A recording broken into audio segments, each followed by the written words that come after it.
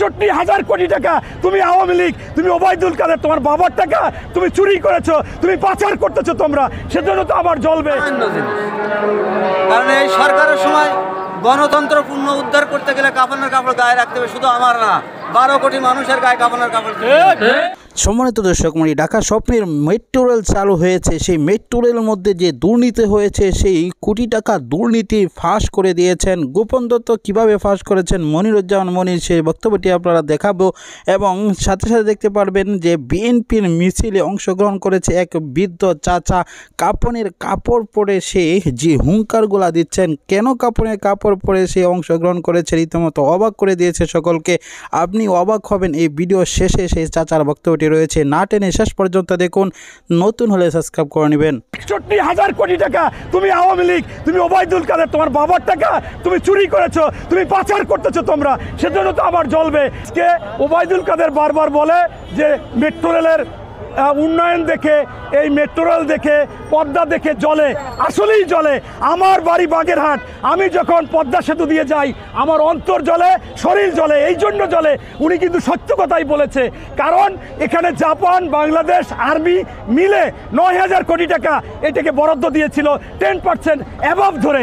সেইখানে সত্তর হাজার কোটি টাকা, একষট্টি হাজার কোটি টাকা তুমি আওয়ামী লীগ, তুমি ওবায়দুল কাদের, তোমার বাবার টাকা তুমি চুরি করেছ, তুমি পাচার করতেছো তোমরা। সেজন্য তো আবার জ্বলবে কারণ আমি আগে একটা ট্রেড লাইসেন্সের ফি দিতাম আড়াইশো টাকা, এখন দিই ষোলো হাজার টাকা।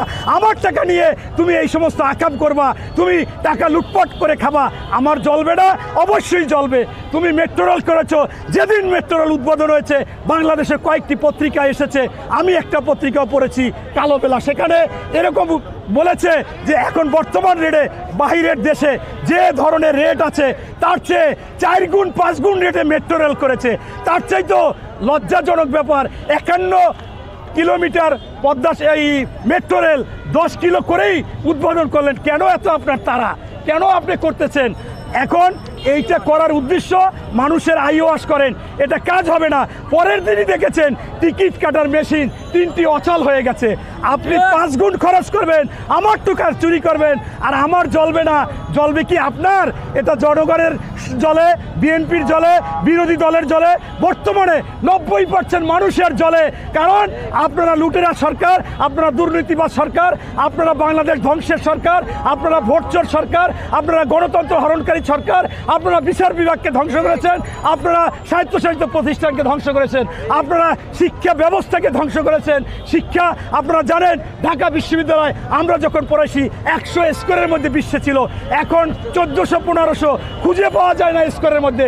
কারণ ওইখানের ভিসি দিয়েছে, ভিসি যারা ভিসি। আমার এক বোন তিনি ধর্ষিতা হয়েছে, তাকে দেখতে গিয়ে এই আখতারুজ্জামান আপনাদের সাংবাদিকদের বলেছে যে, ওই মেয়েটা ধর্ষিত হয়েছে, আমি দেখে আসছি, ওর সাথে কথা বলেছি, ওর একটা অভিজ্ঞতা হয়েছে।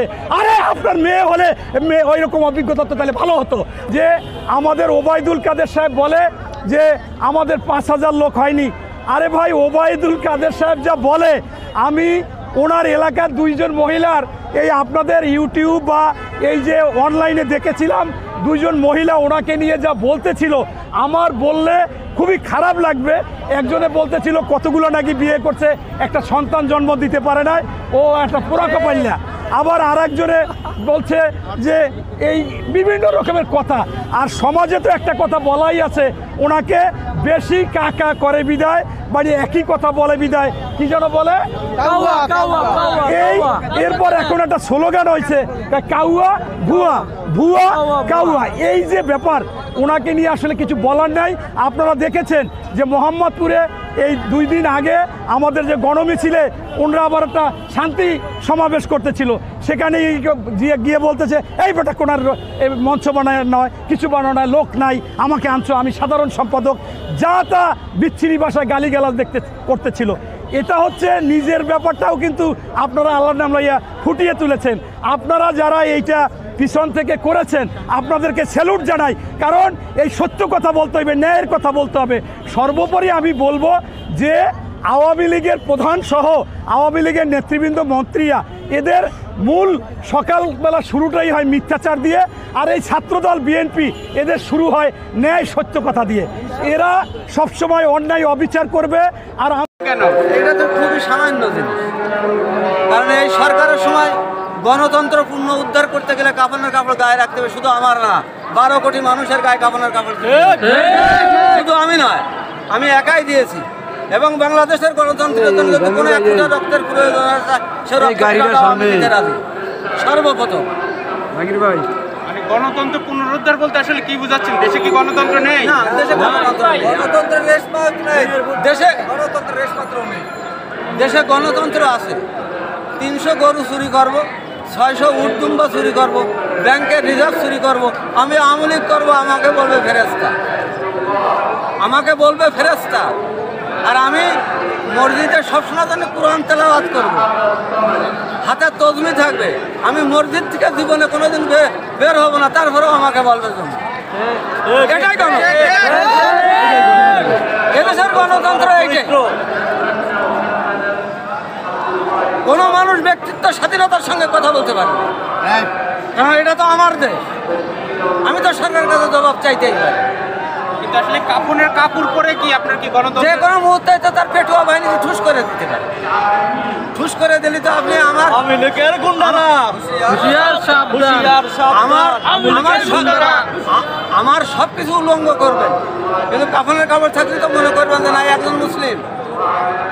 নির্দ্বিধায় আপনি আমাকে কাফন দাফন করবেন। কিন্তু আওয়ামী লীগ সরকার তো দীর্ঘদিন ক্ষমতায় থাকার পর অনেক উন্নয়ন করছে। এরপরেও কি এই সরকারকে আপনারা চান না? এই যেমন মেট্রো রেল উৎপাদন করল, পদ্মা সেতু করল। আওয়ামী লীগ যদি পাঁচশো বছরও ক্ষমতায় যদি থাকে, আগের দিনকার কালকের মেট্রো রেল উদ্বোধন করে বলেছে যে বিএনপির চোখি এই উন্নয়ন চোখি বাঁধে না।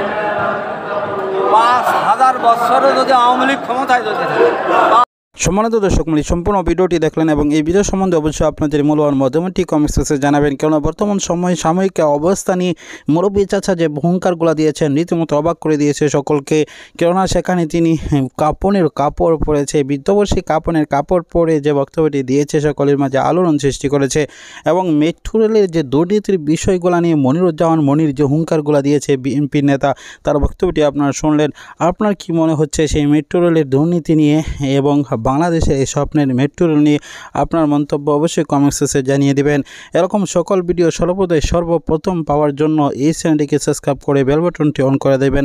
কেননা সর্বপ্রথম আমরা সর্বদাই এই ভিডিও সর্বপ্রথম এই চ্যানেলে সকল আপডেট নিউজ দিয়ে থাকি।